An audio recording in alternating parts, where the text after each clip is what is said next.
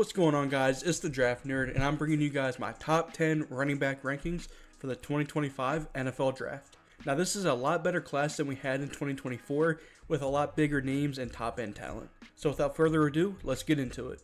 Alright, coming in at number 10, we got Nick Singleton, the running back out of Penn State, and he has really good size at 6 foot 224 pounds. He's kind of like your prototypical running back that you would make in a video game, maybe the new college football game. Um, and he had a really good freshman year where he really put his name on the map early into the year as a freshman. Kind of had a sophomore slump last season. Uh, didn't really create as many explosive plays as he did as a freshman. But let's just get into some of the positives first. Like I said, he's got really great size for the position. He has really thick, powerful legs that makes it tough to tackle. He can run through tackles and kind of just bounce off of tackles as well. He also plays with a lot of physicality, and with that size, he's able to lower the shoulder and move the sticks. And even though he is a bit of a bigger back, he has good speed and has enough breakaway speed to break off big runs. The only problem was that in 2023 he didn't really do so. Like I said, in 2023 he looked noticeably more stiff. Uh, when he was a freshman, he looked like he had a lot of juice, a lot of, you know, almost, I don't want to compare him to Saquon Barkley, but a lot of, you know, fluidity in his hips. And in 2023, he looked just a little bit more stiff, and that could have been because of injury, could have been because of a lot of things. But from what I've seen, there was a noticeable drop off from his freshman year to his sophomore year. Uh, like I said, he wasn't a big play threat. I believe he only had like seven explosive runs, which means uh, runs of 15 plus yards. Uh, he failed to eclipse over a thousand yards. Just really a forgettable season for Nick Singleton. Not to mention that he split carries with a running back that just missed the list in Kaytron Allen. He struggled to force missed tackles. That kind of goes into his, you know, 2023 sophomore slump. And then he didn't show the best vision either. And that Penn State offensive line didn't do him any favors. But, you know, when they did black for him, I feel like some of the times he wasn't picking the right holes to run through. And so Nick Singleton is a top 200 player for me. I think he has a lot of room to improve. And if he gets back to his freshman form, I think he could easily be a top 100 pick. Alright, coming in at number 9, we got Damien Martinez, the running back from Miami, formerly of Oregon State. He transferred to Miami this season, and he's a bit of a bigger back as well, at 6 foot 232 pounds. That's actually pretty big for the running back position nowadays. I have him as a top 175 pick right now. Moving to a bigger school like Miami can, you know, really put him on the map more, and I could see him definitely improving from that top 175 projection, but for right now, I want to pump the brakes on him. You know, for being a bigger back, he has really good burst and, you know, solid top end speed, and I think he can cut and change direction pretty well for size as well. But when it really comes down to it, he's a power back. You know, he's going to lower his shoulder, he's going to look for contact. Uh, he has great contact balance, he holds onto the ball, and I think he picks the right holes more often than not. Uh, I don't necessarily think he's much of a receiving back, as most bigger backs aren't. And as far as blocking goes, I think he's solid. Definitely think he needs improvement, but he has the size to be a really good blocker. Moving on to number 8, we got Raheem Sanders, aka Rocket Sanders, and he now plays at South Carolina, formerly from Arkansas, and he's another big running back at 6'2", 225, and that 225s are on the lower end. He's rumored to have slimmed down about 15 pounds. He Last year he was playing around that 240 pound mark. Uh, I also got a top 175 grade on him with you know room to improve. Uh, and really, the thing with Raheem Sanders is he's got really good movement skills for his size, and that was when he was playing at 240. I can only imagine what it is at 225. Uh, like I said, he slimmed down about 15 pounds, which I think is a good thing. I think he could be a potential threat in the receiving game. Uh, he showed a lot of promise there with good hands, the ability to run a little bit more nuanced of routes you know, more than just screen and swing passes. I think he can he can run a solid Texas route. He can run a good, you know, out route. Nothing nothing that's going to be, you know, too insane for a running back, but I think he's got a little bit juice in the receiving game, and I think he's got blocking upside. Uh, you know, he was walking around at 240 last season, slimming down a bit. I don't see that changing much. Again, 225 is still pretty big for a running back. Uh, the things that you worry about with Raheem Sanders, though, is uh, you know, he doesn't have the best vision in the world. He chooses wrong holes a lot of the time. Doesn't necessarily have the long speed. Uh, I think it'll be improved now that he's down to 225. And then he also just has durability concerns. You know, he spent a lot of last year injured because he was draft eligible last season, but he just missed a lot of time at Arkansas to, I believe, a lower leg injury. Uh, so, you know, hoping to come back healthy this year with South Carolina and having a really big year. And I believe around this time last season, he was my RB like three. So definitely has some upside to him, but I want to, you know, play it safe with him for right now. I want to see how he looks again at that slim down weight and, you know, with him healthy. All right, coming in at number seven, we got Trevor Etienne, and yes, that's the brother of Jaguars running back Travis Etienne, and he just transferred to Georgia, formerly from Florida, and he's that shorter, stockier type of build at 5'9", 205 pounds, and he's my first top 150 player. Uh, I think he's got extreme explosiveness, as you can see with that A speed, A burst, and A minus change of direction. Athletically, he's phenomenal. I think he's got really good elusiveness, and I think he's got reliable hands out of the backfield. I don't necessarily think he's the most nuanced of route runners, but he's got reliable hands, and if you get it, and if you get the ball into his hands, he's got the you know elusiveness and big play potential to make any you know any catch go to the end zone. I think he's got the ability to be skinny in between the tackles. I don't think he's going to be an outside zone type of guy. I think he's got a good vision in between the tackles, which is always a plus. Um, and then moving on to some of the cons, like I said, not a nuanced route runner, more of a swing pass, screen pass type of guy. I don't think he's the most powerful guy ever. Again, 5'9", 205. He's not going to lower his shoulder and run you over, but he will bounce off of tackles and, you know, run through him if you try to tackle him with your arms. And then I think he's a very inconsistent pass blocker. And, you know, at that size, it's kind of expected, but he shows flashes of being a really good pass blocker.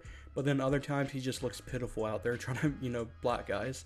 So I think he's got the potential to be a good pass blocker, but maybe needs to put more effort into it.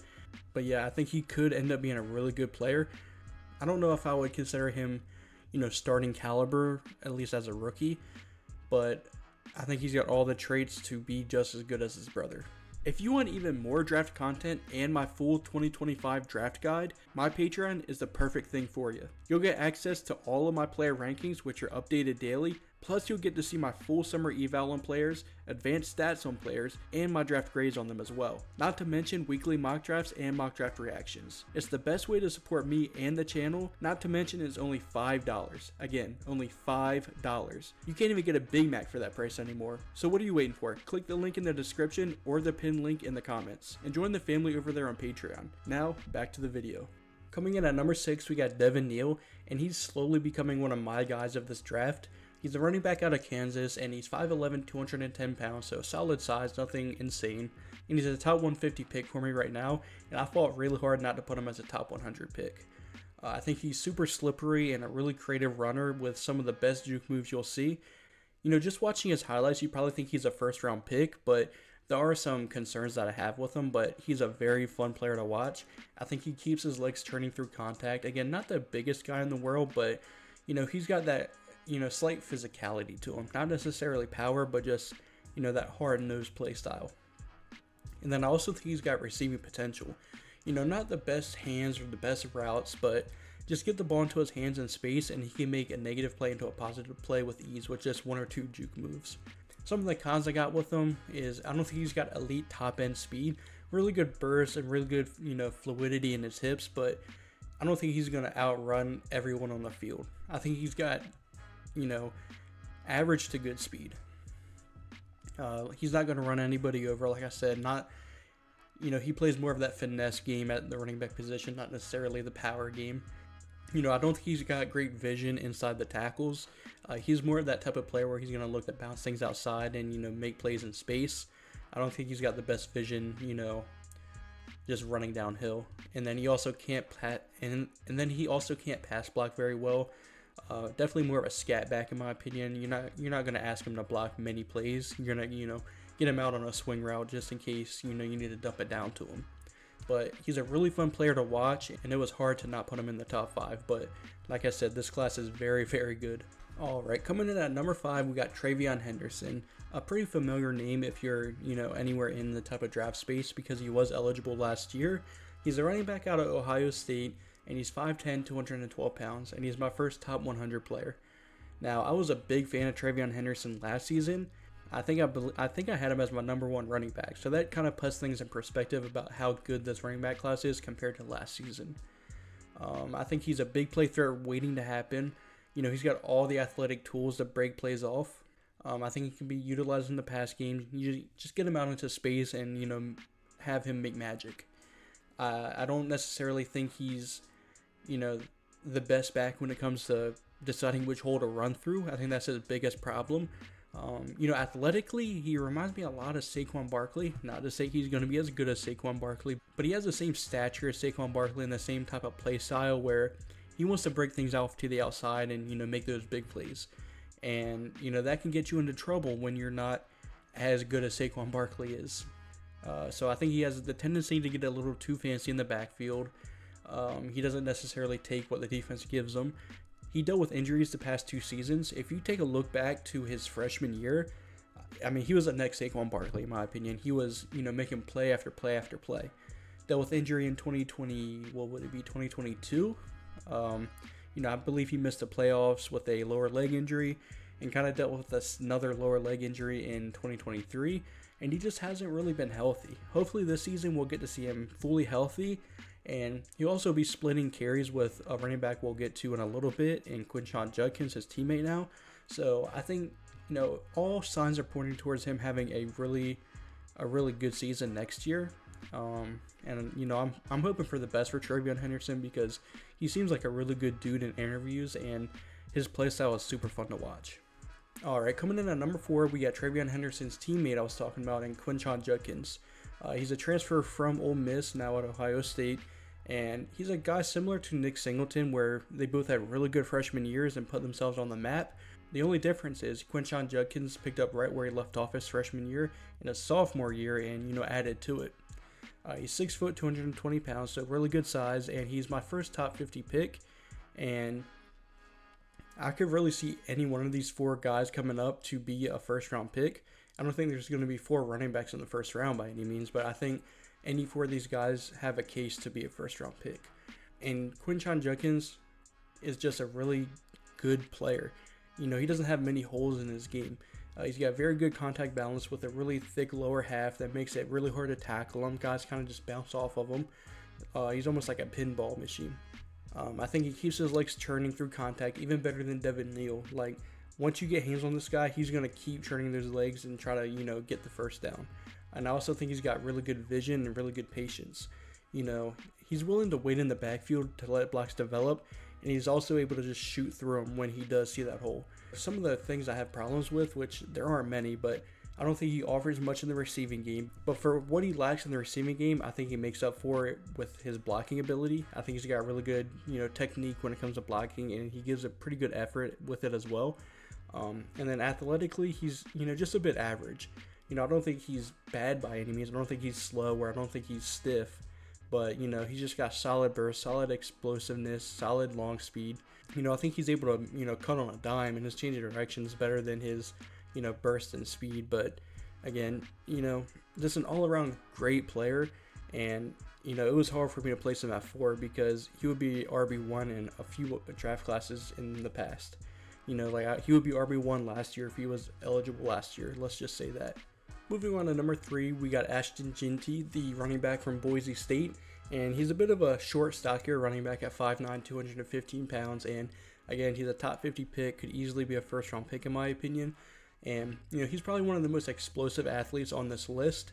Uh, again, A's across the board with his athletic traits like speed, burst, and change of direction.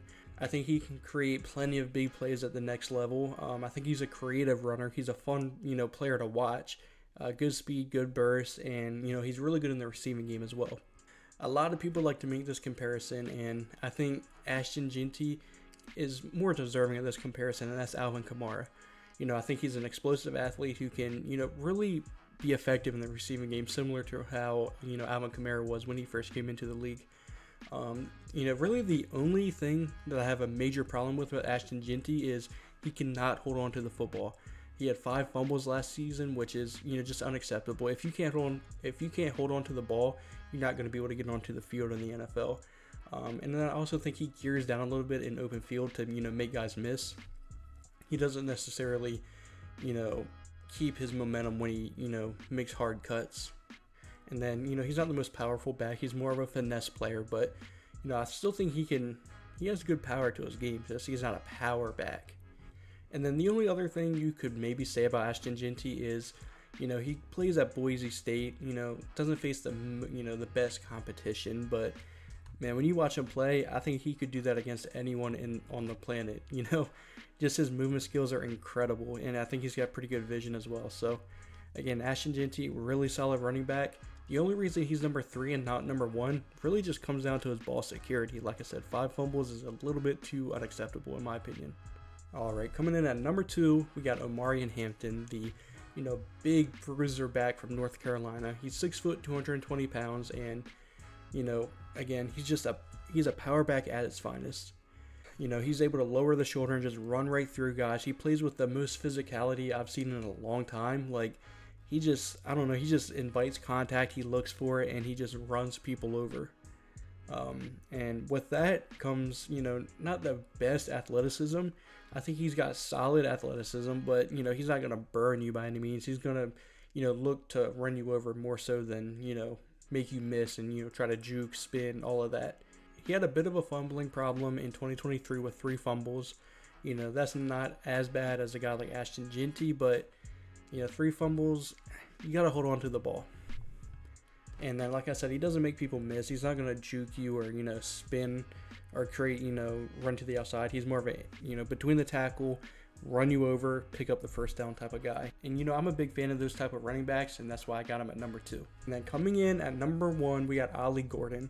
And I don't think a lot of people have Ollie Gordon as their number one running back.